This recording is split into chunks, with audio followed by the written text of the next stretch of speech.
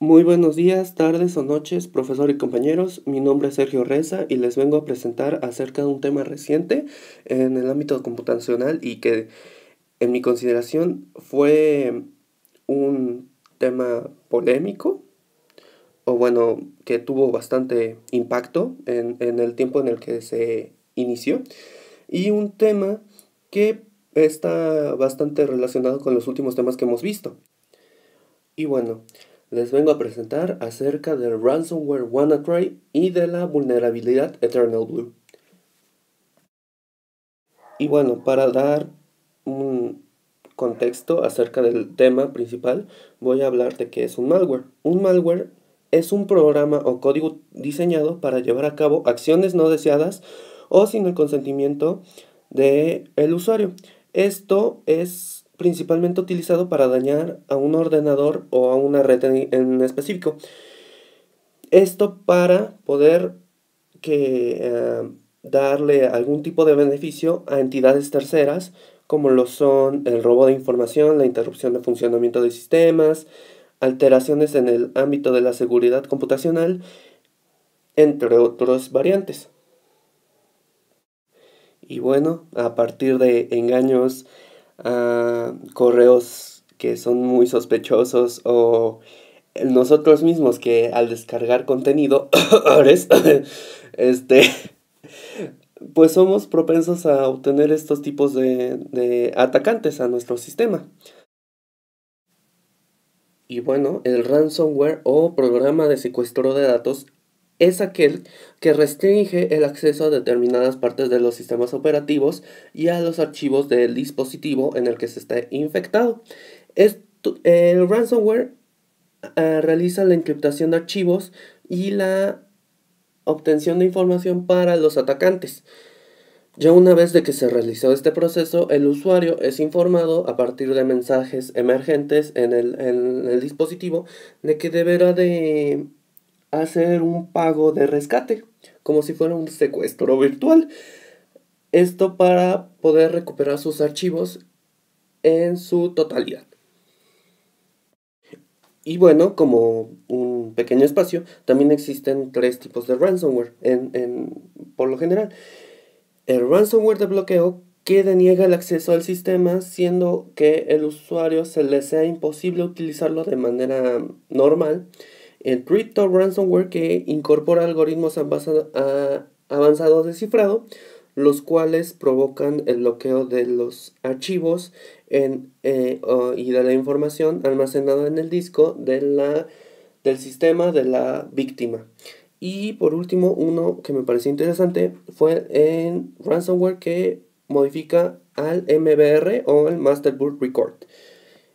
Este, eh, o, conocido como en, español como registro de arranque principal, eh, permite al sistema operativo arrancar con normalidad. Y bueno, a partir de una infección en el, por así decirlo, infección en, en el MBR, lleva un proceso de cifrado que afecta directamente al Master File Table, el cual contiene a los punteros de los directorios del sistema y a partir de esto hace que ah, el usuario no pueda acceder a estos archivos debido a este cifrado. Y bueno, ya habiendo dado un contexto acerca del tema, ahora vamos a hablar del tema principal que es el ransomware WannaCry. Este es un derivado de un ransomware que va dirigido específicamente a los sistemas operativos de Windows. Este hace una diferencia con respecto a los otros ransomware que existen debido a que hay una hay un uso de una vulnerabilidad encontrada en el sistema operativo de Windows.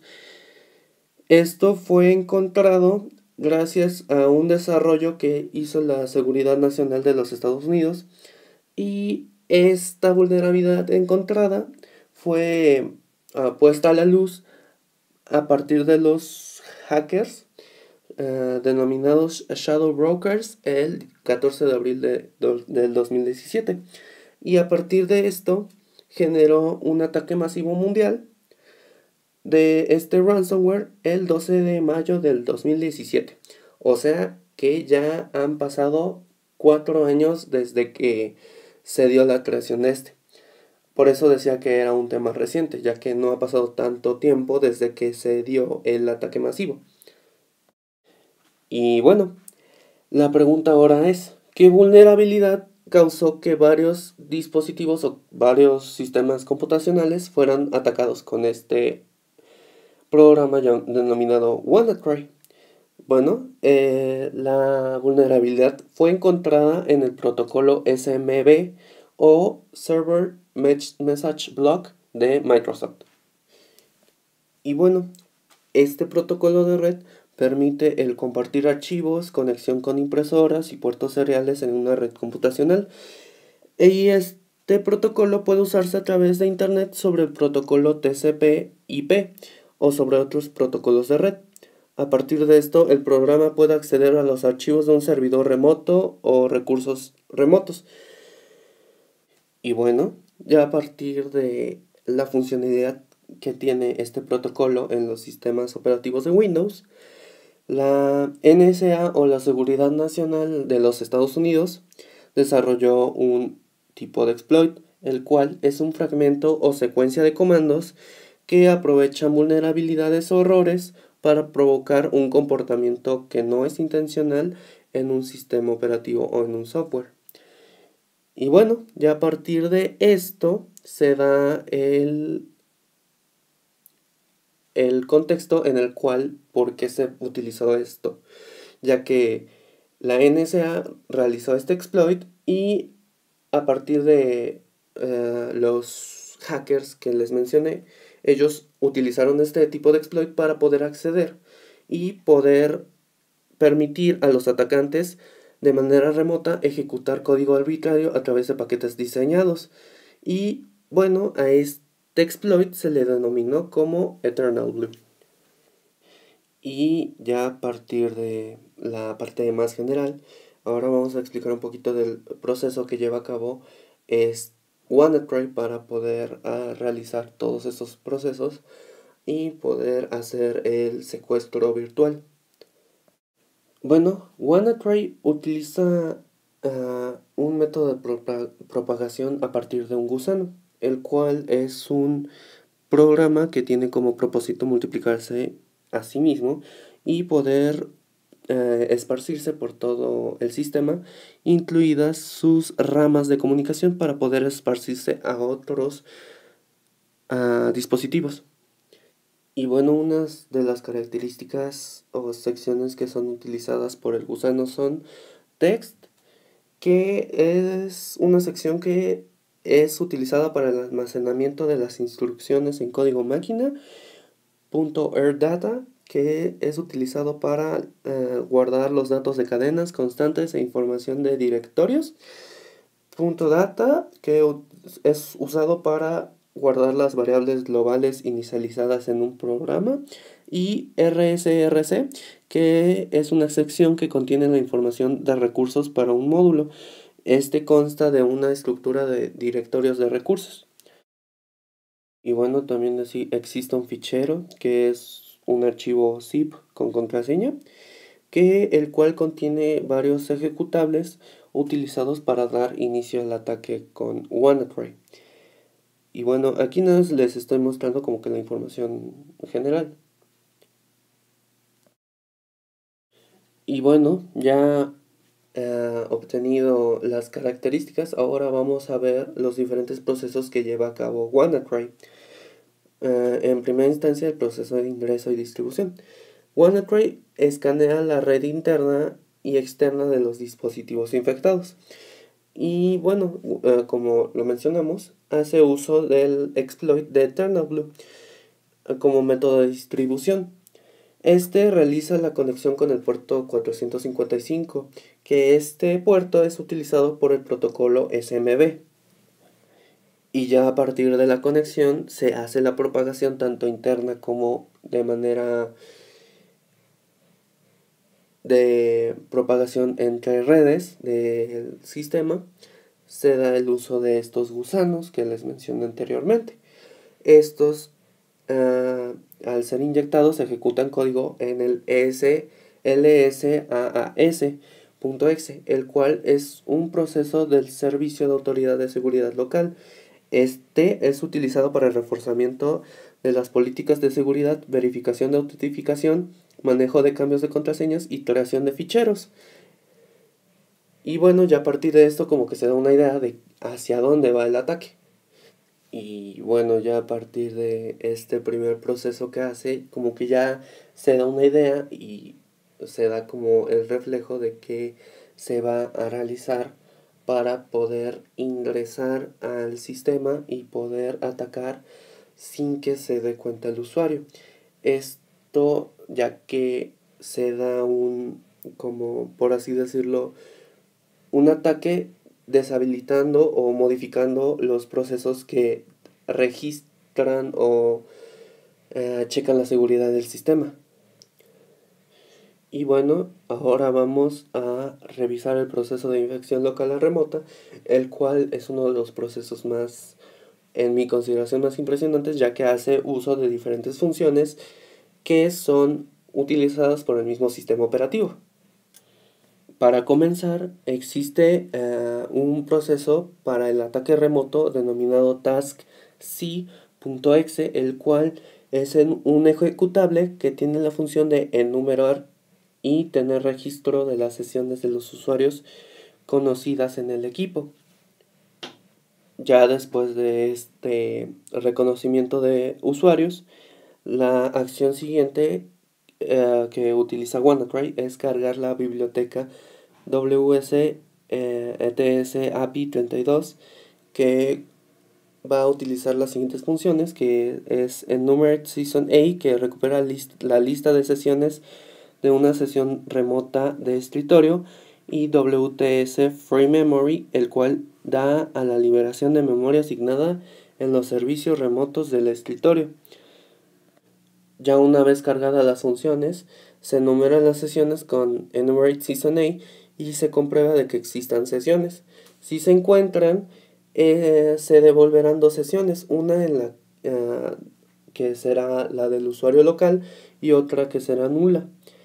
Ah, por cada sesión se llamará otra función para realizar el proceso de suplantación del usuario, así pudiendo hacer réplicas o copias de este.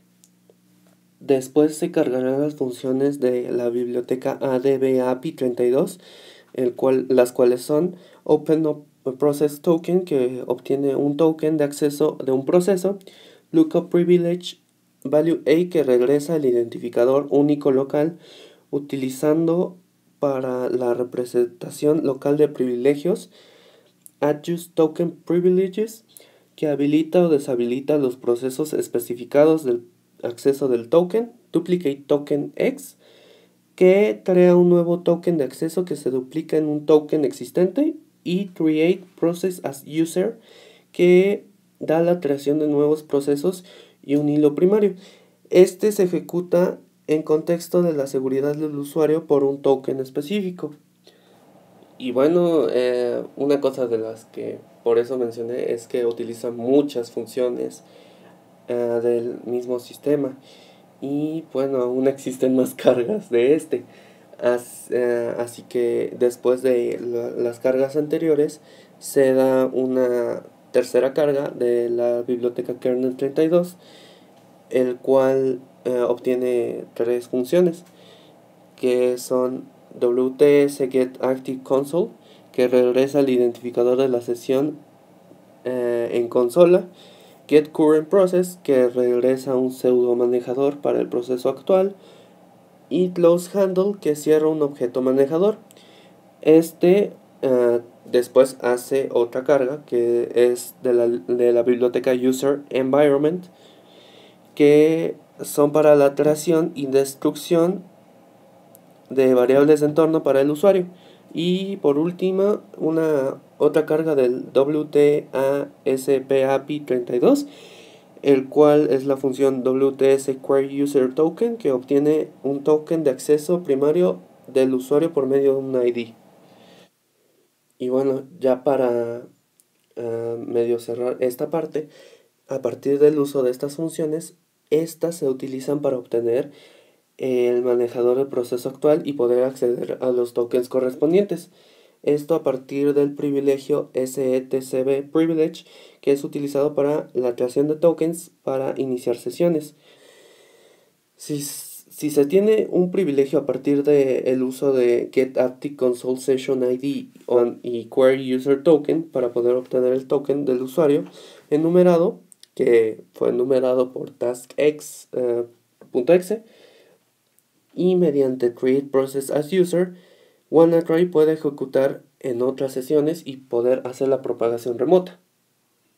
Ya una vez realizado el proceso de ingreso y el proceso de propagación tanto local como remota, se da el proceso de cifrado. WannaCry primero revisa si existen alguno de estos tres mutex. Si existe alguno de estos, eh, no se va a poder ejecutar el componente de cifrado.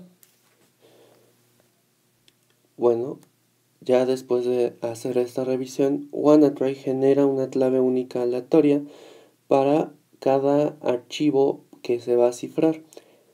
Esta clave eh, se compone de 128 bits y es creada a partir de un algoritmo llamado AES o Advanced Encrypted Standard, que es un algoritmo de cifrado, y este se guarda con una clave RSA pública.